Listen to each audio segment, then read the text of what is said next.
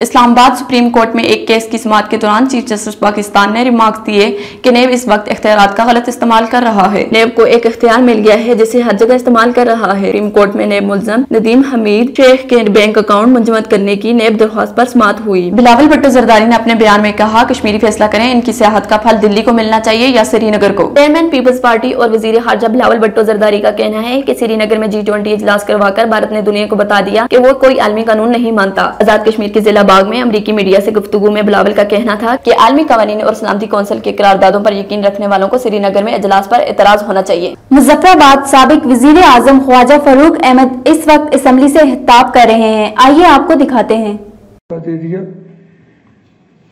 आपने सर पहले तो मैं वज़ीर खारजा पाकिस्तान जनाब भुट्टो साहब को यहाँ खुश आमदेद कहता हूँ बिलावल भुट्टो साहब जरदारी को खुश आमदेद कहता हूँ।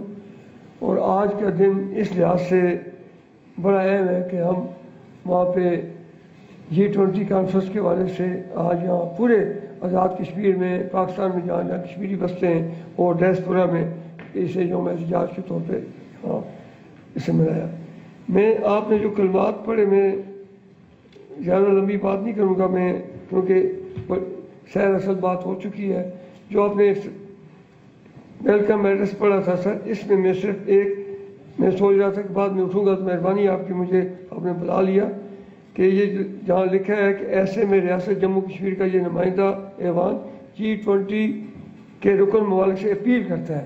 तो इसमें मैं समझता हूँ कि जी ट्वेंटी के साथ अगर ओ आई सी के ममालिक का भी ज़िक्र कर दिया जाए, क्योंकि उसमें जो तीन चार ममालक हैं, उसके, वो इसमें ऐड कर दिया जाए तो एक ये मेरी इतनी बाद में मैंने इसमें ऐड कराना था तो आपने मौका दे दिया।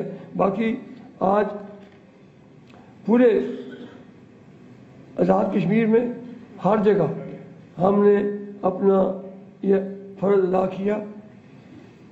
मुजफ्फराबाद बेस कैम्प में भी एक बहुत बड़ा एक इज्तम हुआ। लेकिन पाकिस्तान के वजी खारजा की आमद और ये जो नुमाइंदा इजलास है, इसमें जो करारदाद या जो तकारीर हुई, जो नुमाइंदा, सारी सियासी जमातों के लोग थे, वो जो उन्होंने किए हैं वो जो करेंगे, उस लिहाज से मैं समझता हूँ कि एक बड़ा मुस्बत पैगाम जो है वो मुगजा कश्मीर को भी जाएगा। और मैं वज़ीर खारजा से बिलखसूस ये कहता हूँ कि बाईस, तेईस, चौबीस दो दिन हैं। अगर जो इनकी सफारतकारी में महारत है और इन्हें एक लेगेसी अपने अजीम वाल जनाब शहीद जुल्कार अली भुट्टो से मिली है, उसको बरोकार लाते हुए, फिर बीबी शहीद से जो मिली है, उसे बरोकार लाते हुए मैं समझता हूँ कि अगले दो दिनों में जो भारत चाहता था, वो हो सकता है कि उसे उसमें कामयाबी न हो। हमने एक आवाज़ पहुँचानी थी, वो आवाज़ दुनिया के अवानों तक पहुँच गई है और मैंने उस दिन भी यहाँ पे एक गुजारिश की थी और आज मैं उसका फ़ायदा उठाते हुए अगर जो उसका तलक जी ट्वेंटी के साथ नहीं है, लेकिन एक तजवीज़ देना चाहता हूँ कि जो सफारत खाने हाई कमिश्नर और जो सफ़ीर एम्बेसडर इस्लामाबाद में मौजूद हैं, एक नुमाइंदा वफद आज़ाद कश्मीर असम्बली के तमाम अरकान का जो एक एक नुमाइंदा ले के मैं वजी खारजा से ये दरख्वास्त करूँगा कि वो स्टेट करें ताकि हम अगर बाहर नहीं जा सकते, कोई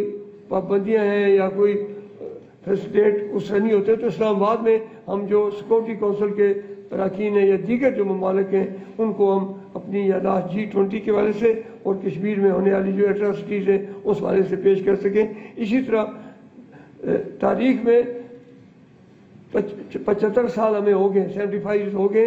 मैं समझता हूँ कि कौमों की ज़िंदगी में कई कई साल लग जाते हैं। हमें उससे मायूस नहीं होना चाहिए। मुझे यकीन है कि एक दिन आएगा कि कश्मीरियों को उनका हक खुदादीज मिलेगा। हम पाकिस्तान के अवाम के बाईस करोड़ अवाम के भी शुक्रगुजार हैं। इन्होंने अपनी तमाम तर माशी, सियासी, सफारती, आलमी मुश्किल के बावजूद कश्मीरियों के वाले से जब भी बात की है तो वो कश्मीरियों के हक अफरादियत की बात की है। इसकी एक लंबी तारीख है। बहरहाल में एक बार फिर जनाब बिलावल साहब, आपका भी शुक्रिया अदा करता हूँ। आप आए, आपके आने से हमें कश्मीरियों को इस जी ट्वेंटी कॉन्फ्रेंस के इनका के वाले से एक हौसला भी मिला है कि हम इसकी मजम्मत करें और भारत के मकबूजा कश्मीर में भी एक मसूद पैगाम किया है कि आज पूरी क्यादत, हमारे इख्तलाफात अपनी जगह है।